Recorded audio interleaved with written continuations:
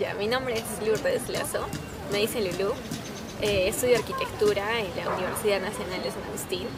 Mis retos como estudiante cristiana eh, son primeramente que obviamente eh, todas las personas y mis compañeros saben que soy cristiana, que creo en Cristo, entonces creo que el principal reto es de verdad ser consecuente con mis actos, en el sentido de, digamos, ser responsable con mis estudios, ser una buena compañera, una buena amiga pero es difícil porque nuestro lado humano a veces sale a flote y es, es un poco complicado, digamos, controlarnos a nosotros mismos y creo que es lo más difícil, ¿no? El reto más difícil que tenemos como cristianos.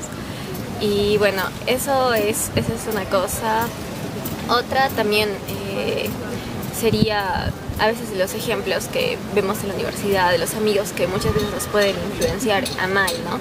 Entonces, creo que, allá, siempre he pensado esto, que el reto ahí está en cómo seguir siendo amigo de esas personas, pero sin, o sea, sin dejar que te que influyan en tu vida. Más bien el contrario, ¿no? Tú influir en, la vida de ellos. Y, digamos, o sea, no alejarte por el hecho de que puedan, digamos, cometer errores, ¿no?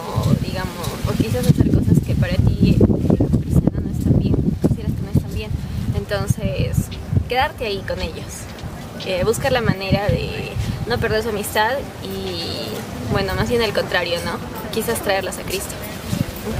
Eh, me gustaría que oren eh, por, mi, por mi vida espiritual y también por, por poder seguir siendo un instrumento que hable de Dios, ¿no? Y en todo momento, eh, con todas las personas con las que me cruce. Quizás va a haber algunas a las que no les voy a poder hablar directamente de Cristo, pero quizás sí con mi, con mi actuar, ¿no?